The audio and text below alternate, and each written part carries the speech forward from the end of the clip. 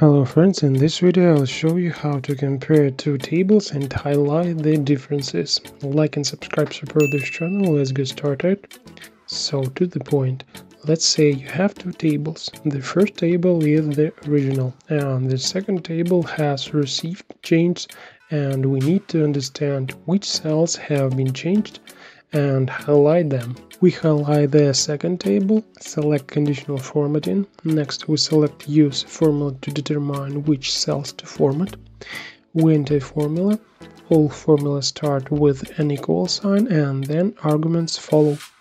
The first cell of the second table, G2, is not equal to the first cell in the first table, A2.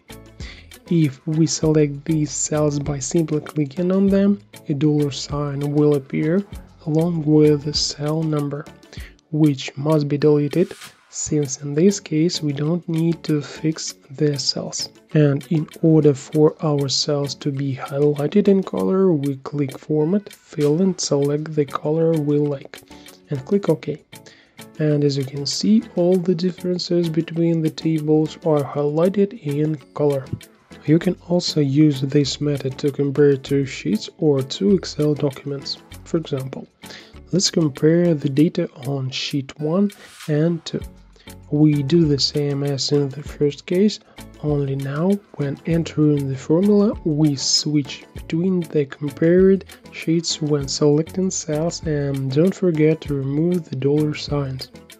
Click Format, select a color and voila, we compared two sheets and highlighted the differences. Now you know a little more, thanks for watching.